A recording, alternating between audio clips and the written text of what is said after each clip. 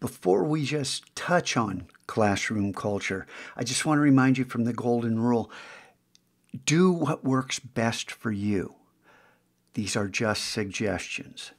And in this quest is a featured image that features a quote from something I wrote, not there, over on maclab.gameful.me called Reimagine.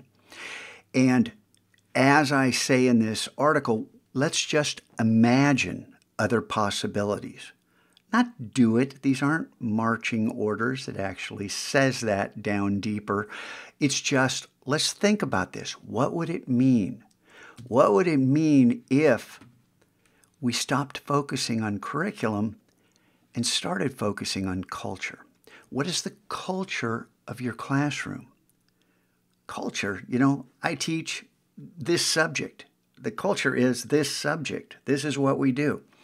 Well, if you're going to gamify your classroom, you can leverage the game mechanics in order to amplify the experience for the students by creating a culture. And I'm going to get into the culture that I've created. Follow your own path. Do what works best for you.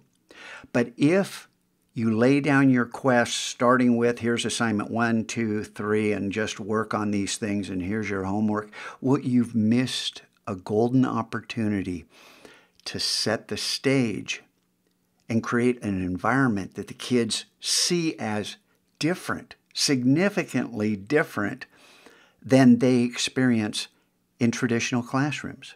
Because let's face it, if you're going to be using game mechanics, you're no longer, well, you have the opportunity to cease to be the traditional, ordinary classroom. I know there's nothing ordinary about your classroom but the experience of walking in, what do I got to do to get an A and all this.